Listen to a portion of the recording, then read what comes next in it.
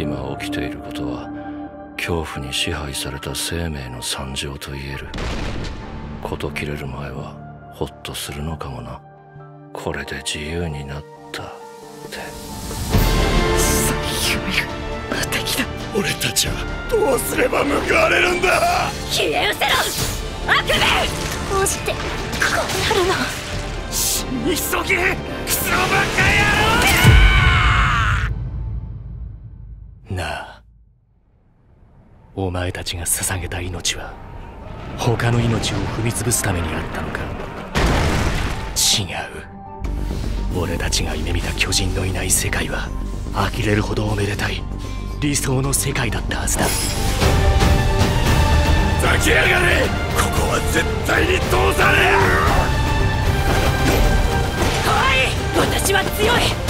のでいくらかに地獄が好きなんだなエレン。